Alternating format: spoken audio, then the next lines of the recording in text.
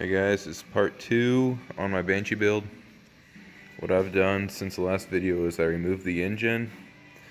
I am going through the front bushings, checking what's good, what needs replaced. Got that top bar over there for the A-arm, top A-arm. So everything's solid there. Everything's tightened down the front. I am putting the rotors on and calipers at the moment. I took out that piston in there and cleaned it up. Um, the piston needs to be replaced. But as of now, this will do. Clean off the camera a bit. There we go. Engine is removed. I got the non-ported cylinders on it the pistons for it were oversized half millimeter. So this is what that fit on it. Um, both sides, obviously, gaskets. Um, the top studs are fucked. but I just put a bolt on there and tightened them down just to make sure it had good compression. The crank was in good condition and everything turned freely. I have the lockout clutch on. All the plates, fibers, or the steels and fibers in there. You don't know how this works, just look it up on YouTube. It's pretty simple. Centrifugal force pops it out, which gives it more force under the plates, and it causes it not to slip. Noticed it does have an oil pump or a water pump, but the gear here is broken. So need new one of these. That's like 40 bucks for a plastic gear. A rip off on, but I guess it is. I got my cool heads here from work. Still need to completely clean them up. They have 20 cc domes in them now. Gasket set over there. Over here, I scattered everything around. I got my FMF fatties with the turbine core 2s silencers. Um, I just sort of just spread everything out. This is brakes right here, wiring harness, coils, spark plug stuff up there, carburetor, spindles, brake levers, then the steering stems here. I got the key switch installed on it. Probably gonna repaint that. I did find boots for this. And I also bought some from my workplace. We had laying around. And two reed cages and reeds. I'm not sure what kind this is. But it is aftermarket. I'm guessing it's Boyesen, but I could be wrong. Got miscellaneous bolts there. But what I'm doing now is going to put on the rear brake caliper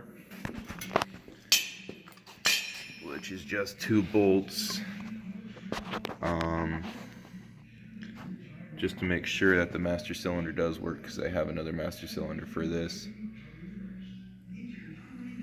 I'll bleed that up and then I need to order the bushings for the rear like they're all missing off the shock and the carrier Got the sprocket on. The axle nuts tight. Um, started doing the wiring harness, but it's just not matching up the way I like it to, so I might have to do some modifications. But gonna keep on working and give y'all an update soon. Okay, this is what I got done one piston off, leaving that piston on. I'm having my drag ported cylinders bored to this size. Um, heads off, old cylinders are off. Might get those ported too. Um, got the side cover off. Clutch is fully assembled. Um, on the bike, what I got done is I got all the parts on a list with parts numbers so when I go to work I just order them upright. Um, rear master cylinder or caliper I should say is on. The two chain tensioners are on. Started doing some of the wiring. Got the rear brake just sitting on there the pedal. Went through all the fronts tightened everything up got that top bar on checked all the bushings gonna order new upper and lower ball joint bushings and or ball joints. Um, tie rod bushings, ball joints. Um, I didn't get too much done, but a little bit's progress. And I got you know, the whole carrier housings all done. So I guess I'm starting from the back and moving forward.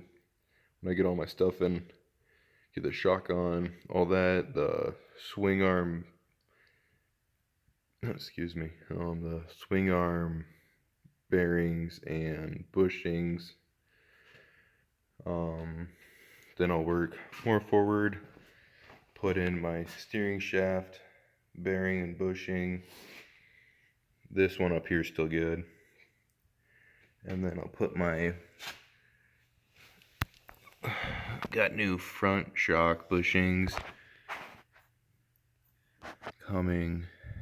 Yeah, you can see here, these are just shot. If you make it right, it's worth more. worth more and it'll last longer. And then I have to order the right bolts for the caliper because those rub. I just wanted to make sure that they were the right size and they were. Some progress. Still a lot of stuff laying on the ground though. Upstairs,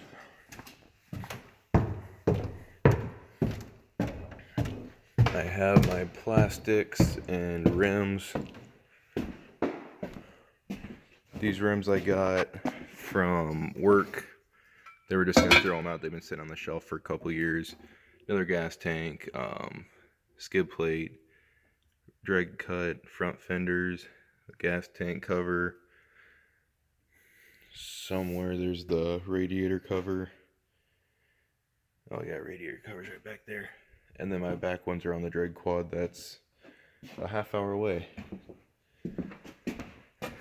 But it's coming along. I'm going to throw the plastics on it quick so you guys can take a little look.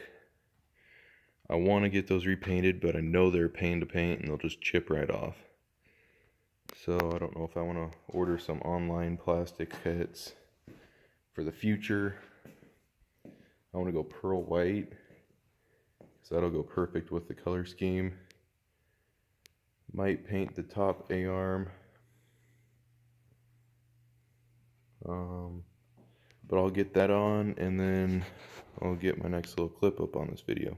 There you go, the plastics are on and the seat. I also have a complete seat that's on my drag quad right now. I'll just transfer to this. But you can definitely tell it takes away from the whole color of the frame. So the white will make that purple stand out a lot better. But thanks for watching and I'll get some parts ordered and then it'll be part three.